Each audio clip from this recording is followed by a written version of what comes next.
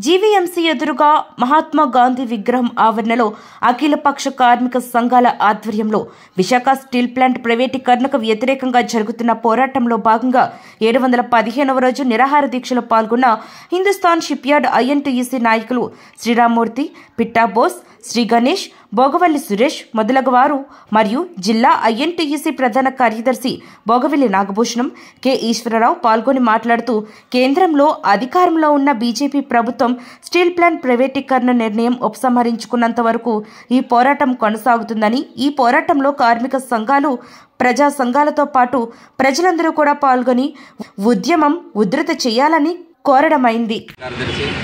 అదేవిధంగా ఈరోజు relay నిర్వాధ్యక్షులు shipyard INTUC వాళ్ళందరూ కూడా పాల్గొనడం జరుగుతుంది. మరి నాతో పాటుగా నాతో జనరల్ సెక్రటరీ అయిన ఈశ్వరరావు గారు షిప్యార్డ్ ఐఎన్టీసీ కార్యకర్తలు నాయకులు మూర్తి గారు అందరూ కూడా మేము పాల్గొనడం జరిగింది ఈ నిరసనలో. మరి మోడీ ప్రభుత్వం కేంద్రంలో అధికారులకు రాకముందు అనేక రకమైన మోసపూరితమైన వాగ్దానాలు చేసి బీజేపీ అధికారంలోకి వచ్చినట్లయితే రెండు కోట్ల మందికి ఉద్యోగాల అవకాశాలు కల్పిస్తామని మోసపూరితమైన మాటలు చెప్పి కనీసం ఒక్క ఉద్యోగం కూడా కల్పించకపోవడం అనేది దురదృష్టకర విషయం.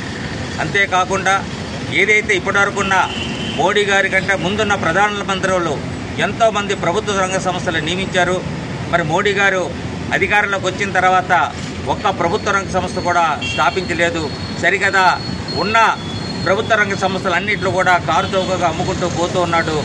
ఏదైతే బడా పారిశ్రామికవేత్తలు ఉన్నారో వాళ్ళందరికీ కూడా భారతదేశాన్ని తాకట్టు పెట్టుకొని మన భారతదేశ సంపదనన్నీ కూడా వాళ్ళకి తాకట్టు పెట్టుకుంటూ పోతూ ఉన్నాడు.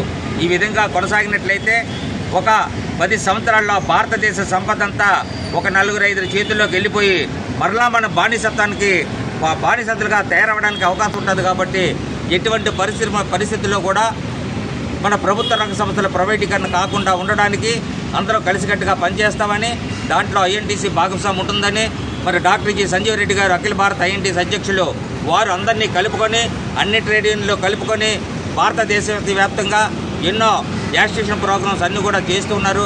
భవిష్యత్తులో కూడా జరిగే పోరాటాలకి మీడియా కూడా అన్ని విధాలుగా సహాయ సహకారాలు అందించి విశాఖ ఉక్కు పరిశ్రమతో పాటు ప్రభుత్వ రంగ సంస్థలన్నీ కూడా ప్రైవేటీకరణ కాకుండా ఉండడానికి మీరందరూ కూడా సహాయ సహకారాలు ఇప్పటివరకు అందిస్తున్నారు. భవిష్యత్తులో కూడా అందించవలసిందిగా మీడియాను కూడా కోరుకుంటూ ఉన్నాం.